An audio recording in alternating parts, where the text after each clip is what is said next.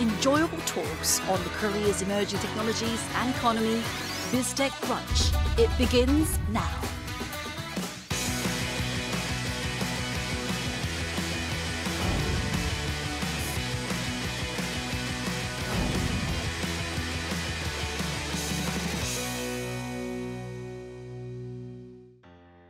안녕하세요. KDI 김동영 연구원입니다. 안녕하세요. IT 칼럼니스트 이원입니다.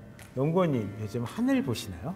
아, 하늘 본 지 좀 오래된 것 같아요. 네, 저는 요즘 집 밖으로 나오기 전에 항상 하늘 한번 보고 나오곤 합니다. 앞에 있는 건물이 흐릿하게 보이면 아 미세먼지가 정말로 많구나 조심해야겠다 이런 생각을 하곤 하는데요. 맞습니다. 미세먼지로 하늘이 뿌연 날에는 실내 공기까지도 덩달아 걱정되더라고요. 안 그래도 최근엔 이 코로나19 시작해가지고 미세먼지까지 이 공기 정화에 대한 관심이 점점 더 높아져 가고 있는 것 같습니다. 맞습니다. 그래서 오늘은 이 공기 정화 기술에 대해서 이야기를 나눠보려고 합니다.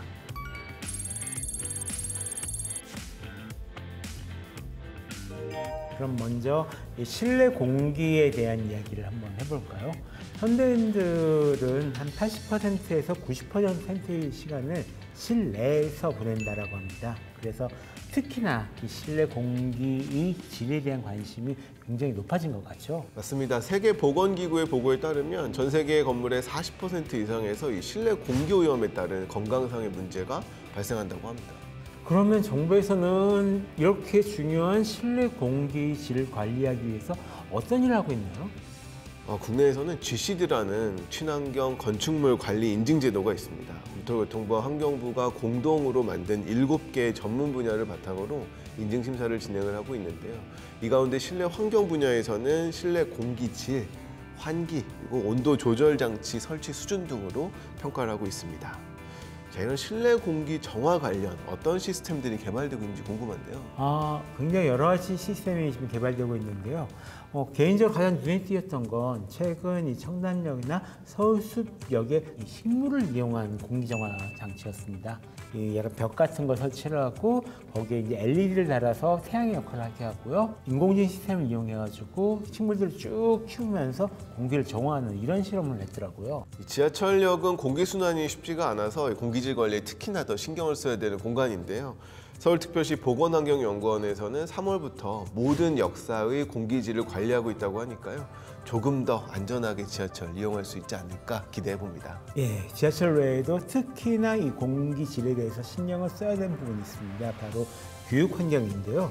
이 최근에 한국건설기술연구원에서는 이 고교실을 위한 공기정화 시스템을 개발을 했다라고 합니다. Fine dust in classrooms can have a fatal effect on the growth and health of young students. And researchers have promoted studies on the air purification system at the laboratory, which has built a similar environment to real classrooms.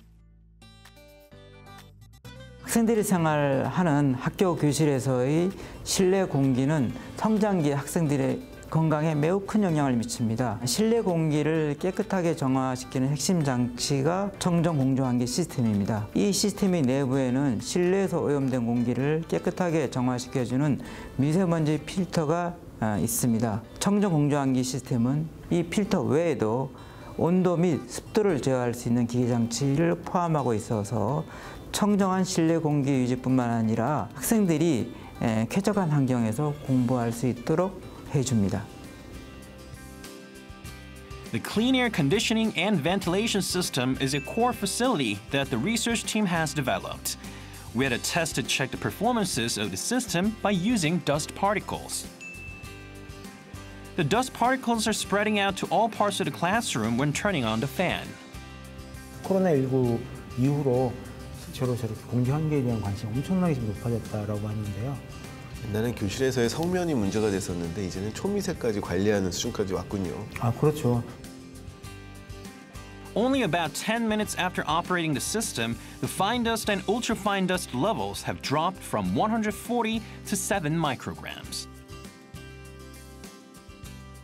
Also, low noise is another significant characteristic of the system.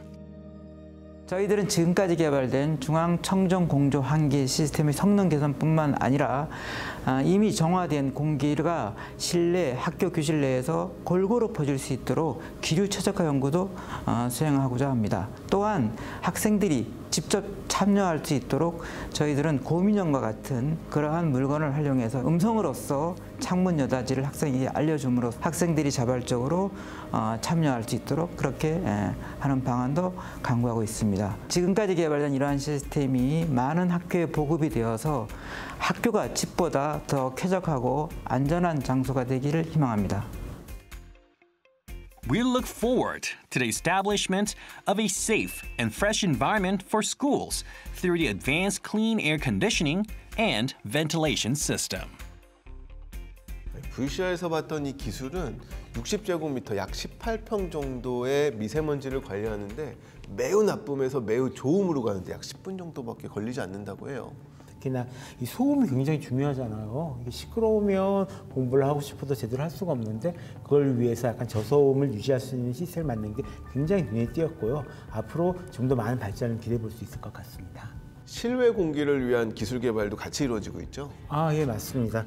특히 이번에 그 한국철도기술연구원에서는 실외용 미세먼지 저감 장치를 세종시에 있는 버스 정류장에 설치해가지고 실증 실험을 좀 해보고 있다라고 하고 있는데요. 굉장히 온도차나 이런 것들이 큰 실외에서도 어떤 미세먼지 필터의 교체 없이 작동할 수 있는지를 알아보고 있다라고 합니다. 설명해 주신 내용을 듣다 보니까 지난번 해시태그에서 봤던 서울시의 smart shelter라는 버스 정류장이 생각이 납니다. 이것도 공기의 질을 실시간으로 측정할 수 있고 정화하는 시스템이 갖춰져 있어서 굉장히 신기했죠. 앞으로 이런 그 공기 정화 기술 전망은 어떻게 보시나요? 네, 정부뿐만 아니라 이 학교와 기업들 모두가 다 같이 노력을 하고 있어서요. 굉장히 빠르게 발전할 것 같은데요. 인하대학교가 올해 국가가 지정한 수도권 미세먼지 연구관리센터로 지정이 되었습니다. 환경부로부터 연간 4억 6천만 원을 지원받고요. 인천광역시로부터도 연간 2억 3천만 원의 지원을 받으면서 이 미세먼지 발생 특성을 분석하고 또 데이터베이스를 구축하는 등 미세먼지로 인한 국민 건강 피해를 최소화하기 위한 노력을 기울이고 있습니다.